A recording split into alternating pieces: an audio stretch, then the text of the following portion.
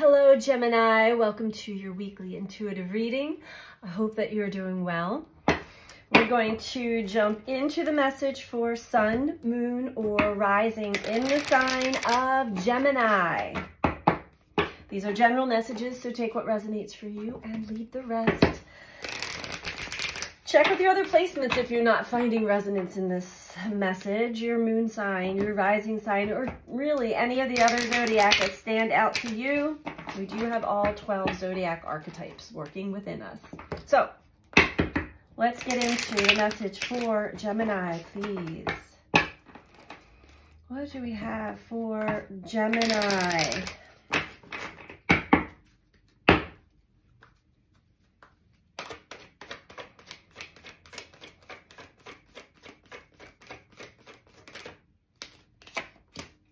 We have love. I commit to the practice of seeing the good in all things.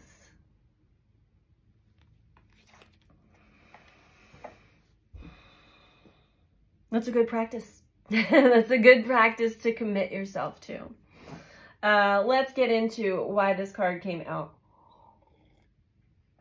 Love.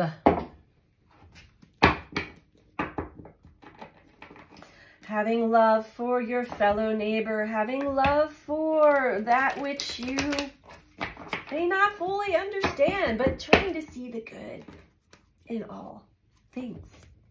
That's hard. That's not easy all the time. But we do have the ability. Every single one of us possesses multiple, multiple personalities and the duality of the light and the shadow um, within all of us. We all have something good. We also all have something that um, we would claim to be not so good. Okay. Mm. And it's awareness. Yes, the more we are aware of our shadow, the more we are aware of our patterns. And it really comes down to um, whatever we I do to someone else, I also do to myself because that is how truly deeply connected we all are. So when we have this practice of seeing life with love, um, committing to the practice of seeing the good in all, we're also putting that back onto ourselves. Okay, thank you. um,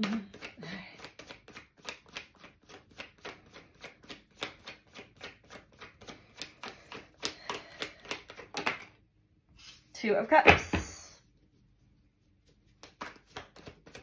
Sharing love, companionship, camaraderie with another. Strength. Sometimes it does take strength, yes, when our in our loving relationships to others. There are times when we will be tested and challenged and triggered. But don't forget about the beauty and the, the love that exists there as well. Queen of Cups. There we go. Exactly. Overall, Four of Wands. So this definitely has to do with many of you, a marriage, others of you, a partner, um, a home, a family. The Four of Wands is typically some kind of partnership. Usually marriage, and the Empress below that. Um, so we're talking about uh, a loving connection with another, and how sometimes it does take strength, it takes courage, it takes inner wisdom to um, tame our own ego, needing to be right and all that stuff, um, but also strength to actually commit to the practice of seeing the good in all things. And here we have the Queen of Emotions having compassion and love and empathy as our all ultimate strength. All right.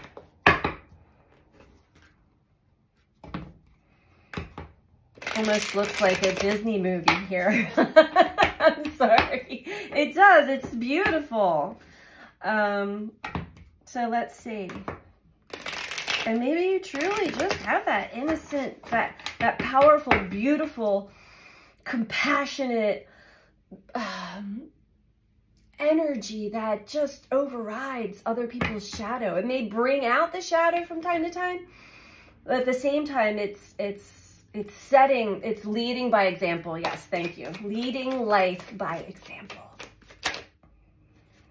Ace of Materials, the Hierophant, and the Devil. Okay. so,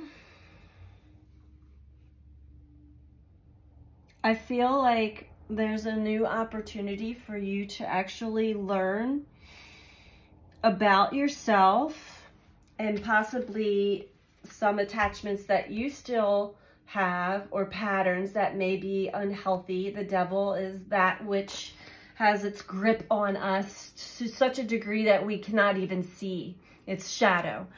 Um, but it, it it's also linked to our deepest insecurities and um, fears and other things that can really, when they are triggered, can cause us pain. And sometimes when we're in pain, we react in a way that causes pain to others, hurt people, hurt people. Um, but I'm, I'm seeing that you're actually really getting, you're learning something here. Oh, um, there's wisdom here to be understood. And it's opening up a, a, a new, maybe a new way of relating, a new opportunity, a new, a fresh start. Fresh start. Okay. And this doesn't have to be a romantic, like if you're not married and if you're not in a partnership, this is, um, it could be past for some, a past partnership, a past marriage. It could also be um, someone that you just, you, you're very um, closely linked to and you do a lot together or you roommates or there's something there. The strength card with the three of inspiration. So what it it takes strength and internal strength to not try to control, but to actually allow things to fall and allow the universe to put things into the proper order. So this is divine timing. This is kind of sitting back and like trusting that something is stirring and something is shifting. And instead of getting intertwined and mixed in maybe somebody else's stuff, just sort of, um, you know, having the patience and the empathy and compassion to just, okay, go about, do your thing. I'll be here. I'm watching things just fall into place. All right. So that they make more sense to you. Yes, it makes more sense to you instead of uh, jumping to conclusions. There we have six of materials with two of emotions. And when we do this, we allow our heart energy, we allow our energy to actually be the driving force here in our relationships which ultimately brings balance and equal give and take, equal reciprocity. When we don't play their game, when we don't play the game that's tied to the devil, old patterns, old behaviors, old beliefs, it doesn't ruffle your feathers anymore. You're committed to seeing the good in all, committing to see the good in all things. Okay, including experiences. So, all right, overall we have the Knight of Voices. Yes, again, things are going to become clear. There may actually be um, clear communication. You might be given the opportunity to clearly communicate what it is that you need to communicate, but this will be um, better received when you're not in a reactive state. All right, so we're going to get you one last message and advice from Shamanic Healing. Oracle, Gemini.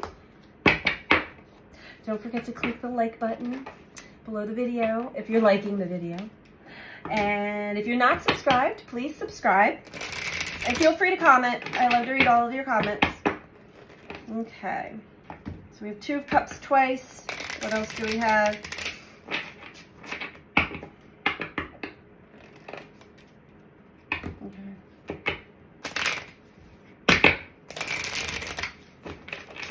So no matter how you shake it, this is definitely has to do with your relationship to somebody else.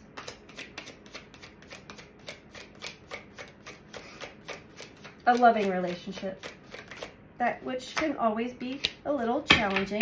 We have reunion of souls. Beautiful. yeah, knowing that everybody, we all get triggered and we all act a certain kind of way depending on our past experiences and how we were brought up. And when we don't get carried away or swept up in somebody else's stuff or, allow, you know, when we have our stuff triggered, but we sit with it instead of um, not swallow it, not um, ignore it, but not use that as the fire to fire back emotional pain back to somebody who might be, you know, doing something. Anyway, we're going to read this one from the book.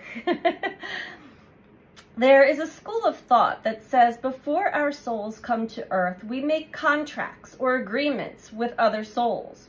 At one point in time, we appear in each other's lives to assist those involved in learning a lesson, being a catalyst for a needed change, or to share in profound joy.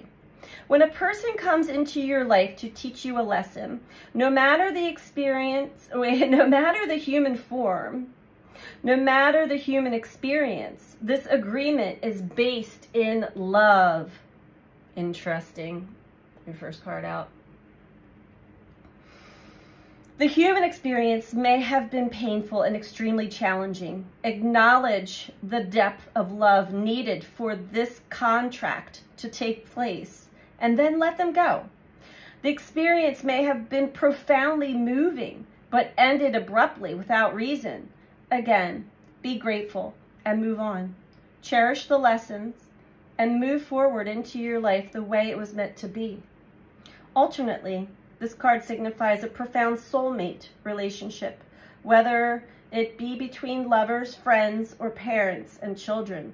Cherish, cherish the gift given. So, Gemini, I have chills all over. This is a beautiful way to wrap up this reading and confirmation of the reading. So I hope that you found this to be helpful for you. I'm sending you out so much love. Take care. Bye.